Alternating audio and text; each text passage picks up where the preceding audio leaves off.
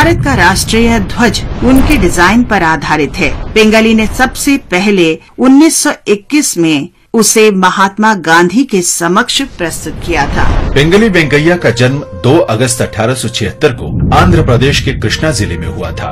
वे Africa में आंग्ल बोयर युद्ध के दौरान दक्षिण अफ्रीका में ब्रिटिश सेना में थे। वहाँ पहली बार महात्मा गांधी से उनकी मुलाकात हुई। उस समय पिंगली मात्र 19 वर्ष के थे। पिंगली एक बार फिर विजयवाड़ा में गांधी जी से मिले और उन्हें ध्वज के विविध डिज़ाइन के साथ अपना प्रकाशन दिखाया। राष्ट्रीय ध्वज की आवश्यकता अनुभव करते हुए गांधी जी ने पिंगली से नया ध्वज